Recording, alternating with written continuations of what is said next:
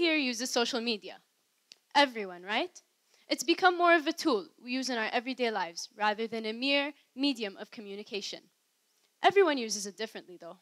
On that note, I'd like to thank everyone here for posting pictures of their delicious looking salads and beautiful sunsets. I prefer to use it differently, though. I'd like to post about something a bit more important, in my opinion myself. I promise I'm not as narcissistic as I sound. If you look at my Instagram page, you'll find posts of my family, my childhood, and illustrations of my day to day life.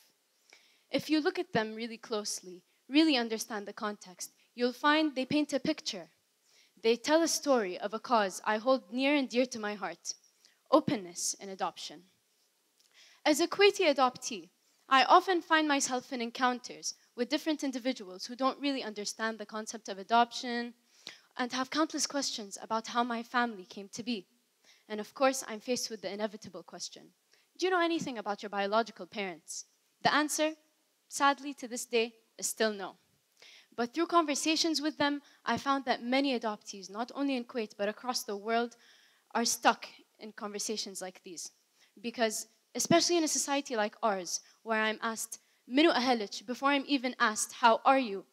Being open about my adoption is a concept that is highly stigmatized. Thankfully, though, throughout my life, I had my mother, who always encouraged me to tell my story with pride and to hold my head up high wherever I went. So thank you for that.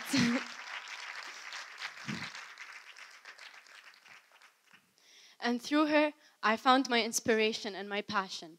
And so today, my mission as a teenage Kuwaiti adoptee is to help others in the same position as mine to find the confidence to speak up and stand up against the stigma.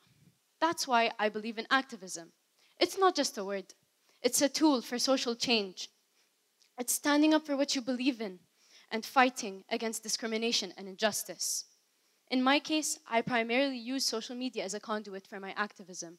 And when you do that, you have to be wary of a couple things, like performative activism, which refers to the act of engaging in activism in order to appear virtuous through tokenistic or superficial actions, like changing your profile picture or posting unreliable information. Through that, you are perpetuating a culture of complacency and lack of meaningful action, which moves the focus away and, re and resources away from people who actually need them and can actually enact meaningful change. Of course, talking through social media about causes that you care about and current events is important, and it's all about intentions. Here are some ways that you can make sure that you are a driving force behind your movement.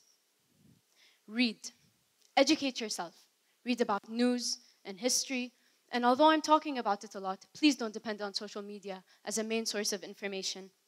Use literature or articles. And for those with an aversion to words, podcasts and documentaries are often useful sources of information as well. Also, try to make a tangible effort, such as attend conferences, work with organizations related to your cause, and donate if it applies.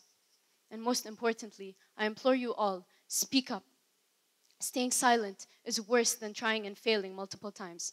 As Desmond Tutu once said, staying silent in situations of injustice is, cho is choosing the side of the oppressor. Now, personally, I like posting on Instagram. I love my social media. Admittedly, like a lot of the people in my generation, I'm kind of addicted to it. In fact, as soon as I step off the stage, I'm probably going to post that I'm at this conference. I mean, there's really no shame in posting about the tiny things like delicious salads or beautiful sunsets that you see every day. But just like I was inspired to speak up about the things that I find important, I hope every single person in this audience finds something to take a stand on. Thank you.